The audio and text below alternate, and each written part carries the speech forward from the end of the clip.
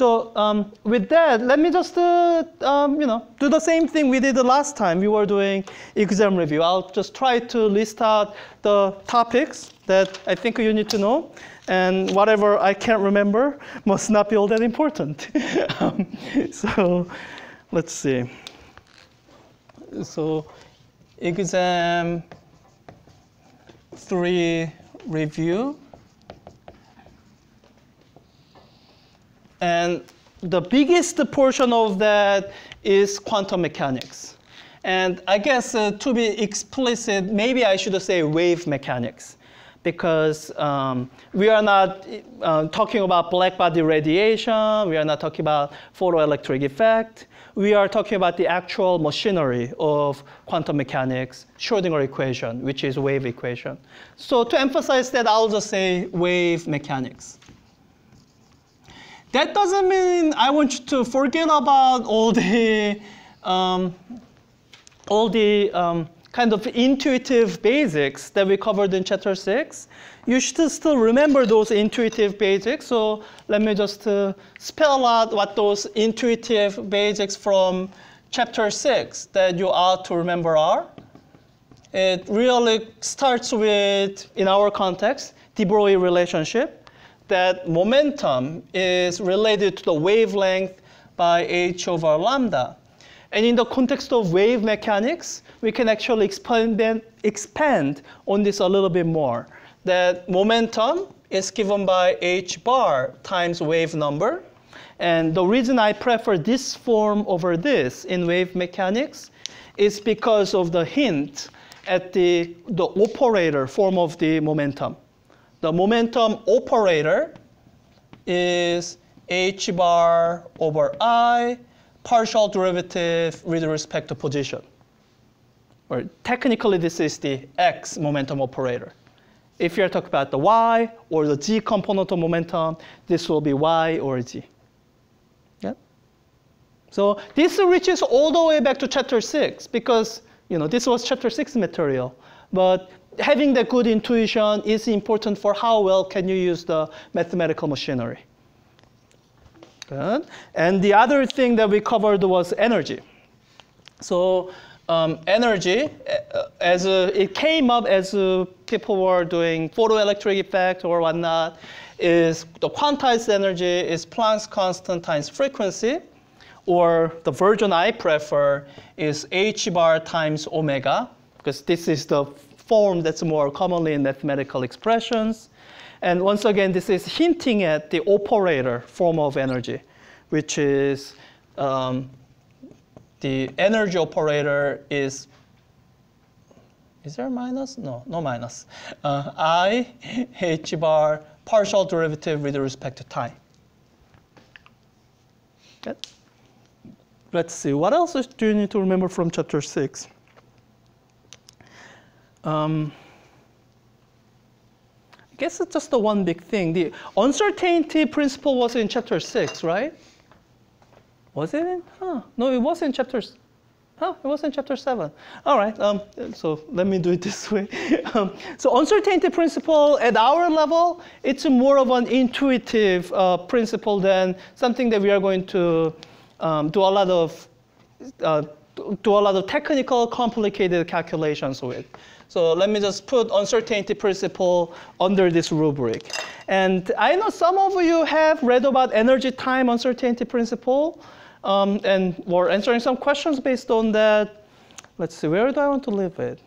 I think I actually do want to include it for this exam. Um, in fact, you will see energy time uncertainty principle used for um, some, some of the particle physics stuff because that's how, that's how W boson mass is determined by use of energy time uncertainty principle.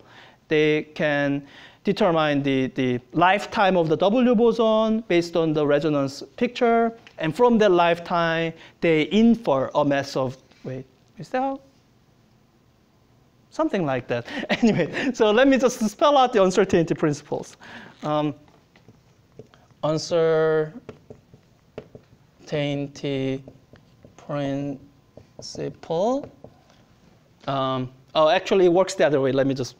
So the one that we, you guys actually had to know for exam two, and that's the basic uncertainty principle. It's the one involving momentum and uh, position.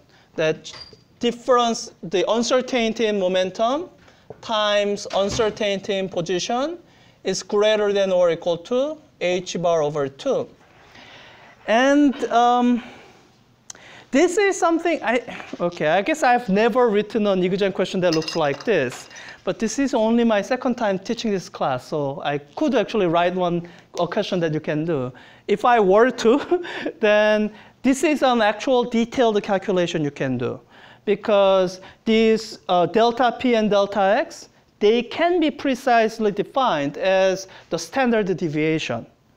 Meaning, uh, I'm going to erase this in a bit, delta p squared. Really what that is is um, so standard deviation squared or variance. So it'll be uh, take the momentum of for some ith thing, subtract out the average momentum, right? Take this squared, and then average it again. That gives you the variance.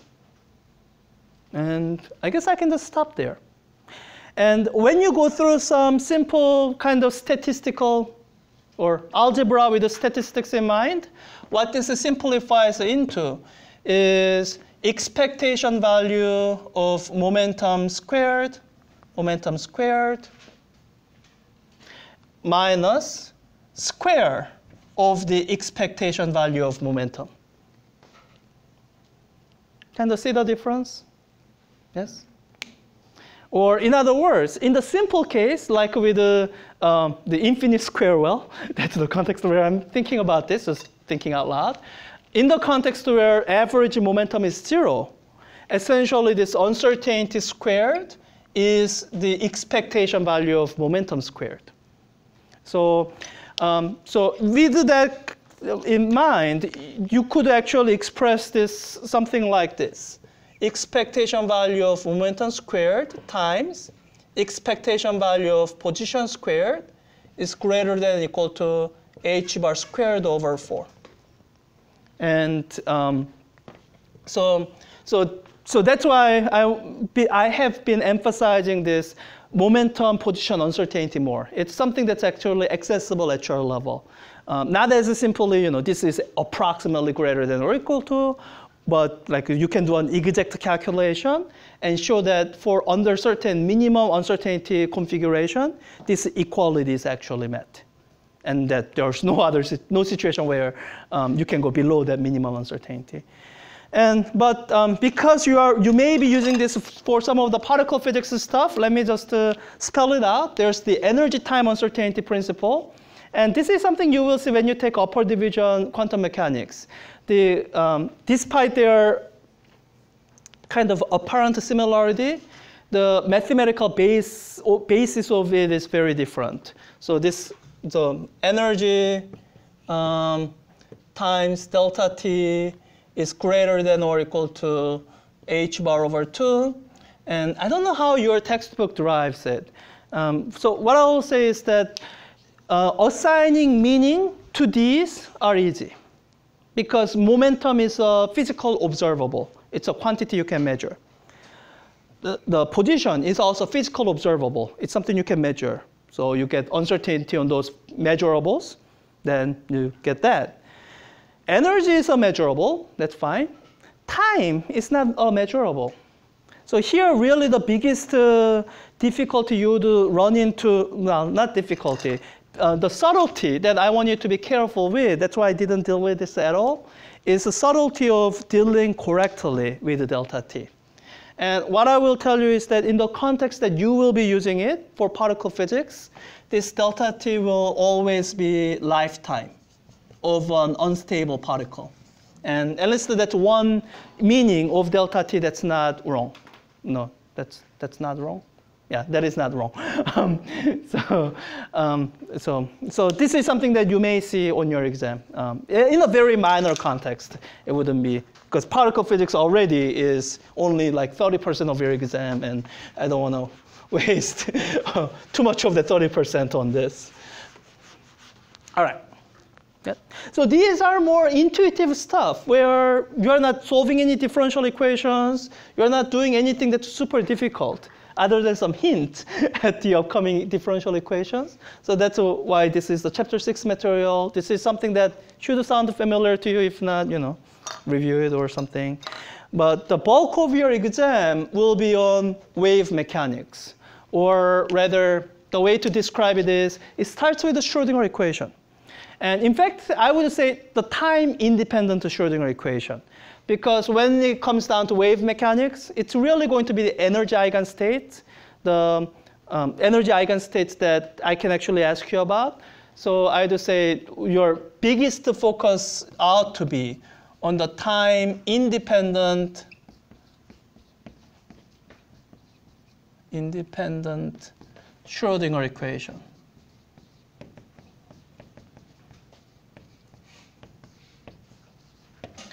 Um, I guess you could do it with a time-dependent Schrodinger equation, but I think it's big enough of a pretension on our part to, to pretend that you guys know fully well how to solve ordinary, ordinary differential equations.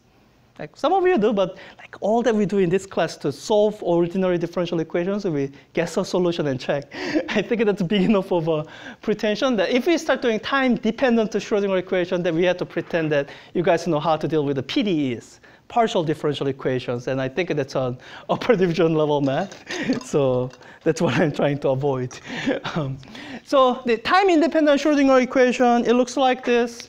Uh, minus h bar squared over 2m, the double position derivative, ordinary derivatives, because that's the whole point of doing time-independent version, of the wave function, just the position portion.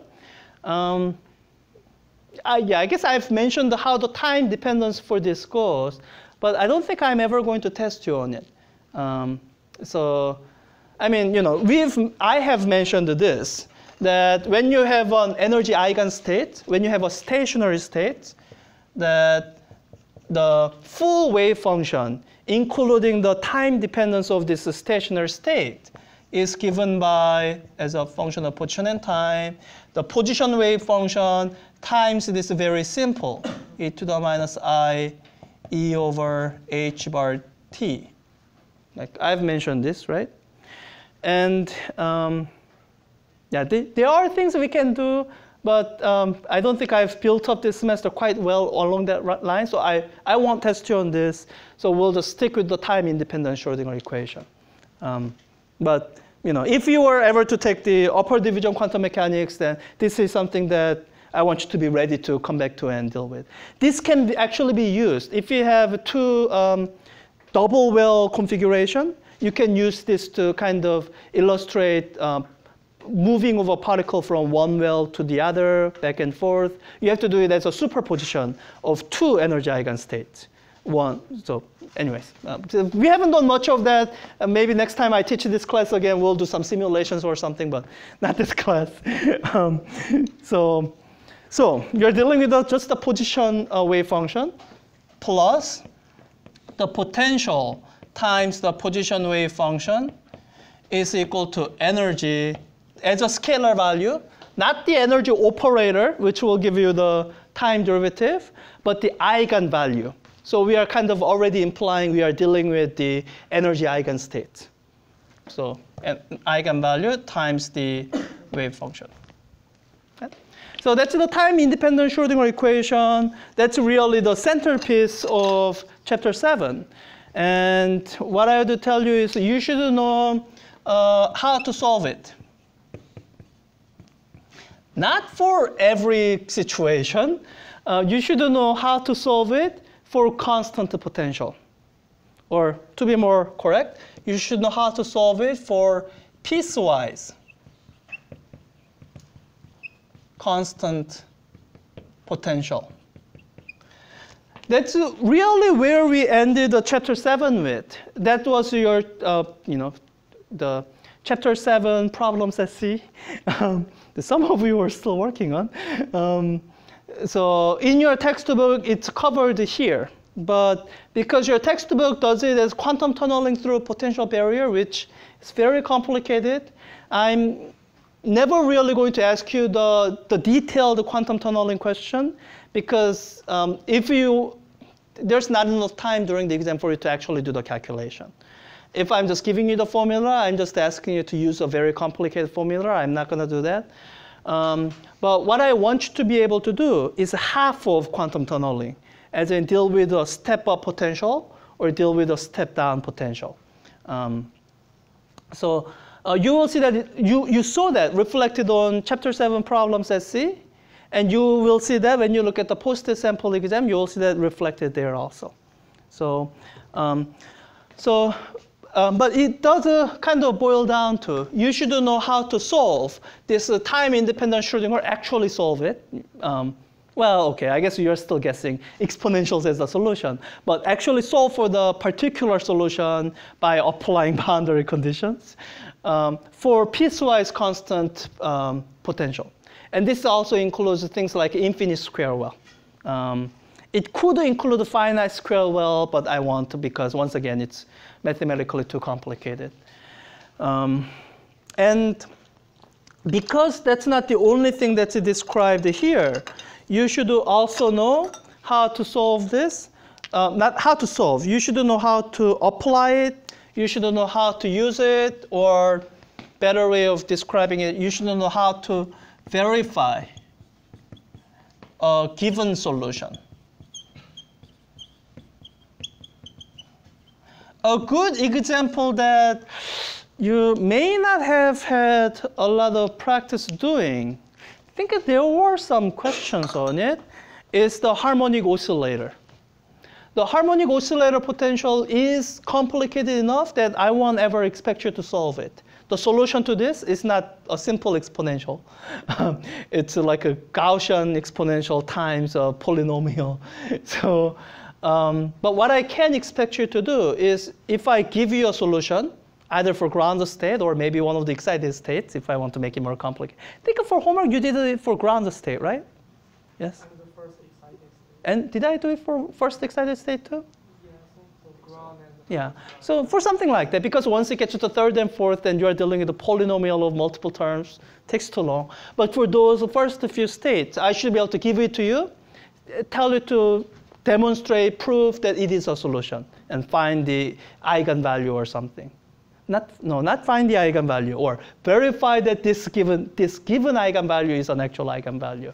So that's a level of calculus that I think you should be able to do for this class. Um, so that's what I mean, verify a given solution. Um, let's see, what else about time-independent Schrodinger equation that I haven't mentioned? Um, You know, there's a lot that's covered under these two umbrella, but that kind of covers it. Um, Let's just see. Oh, I think, um, um, so it falls under this overall bigger umbrella. Uh, what it should be is that um, using the wave function and any operators that you know, like the position, momentum, and position operators. So position operator is actually very simple. It's just multiplication by x in position space. Um, yeah there's something called the momentum space, which you saw a hint of in the, the PhET simulation lab, but I'm not, never going to ask you a question in momentum space, because that's more Fourier transform all that. I guess we are never doing Fourier transformation. Um, you can study that on your own. um, so using the position, using the wave function and operators, let me just use this symbol uh, for operator. Using wave function and operators, compute uh, measurable quantities. So measurable quantities would be either eigenvalue. So in that case, whatever function I gave you better be an eigenfunction. If it's not, then it doesn't have an eigenvalue. Or in a more general case, you should be able to calculate the expectation value. And that's the kind of calculation that would uh, actually tie with calculation of this type. Because what's involved here is the expectation value. And so this is actual detailed calculation, and I think um, it's a so you know when you calculate expectation value, it is going to involve an integral. So depending on how complicated the integral is, I may need to give you integral table. But um, so this is the up at the upper range of the detailed calculation that you need to be able to do for this class. Yep. Um, all right. I feel like I missed something from chapter seven. Um, mentioned uncertainty principle. So tunneling, I guess that's it.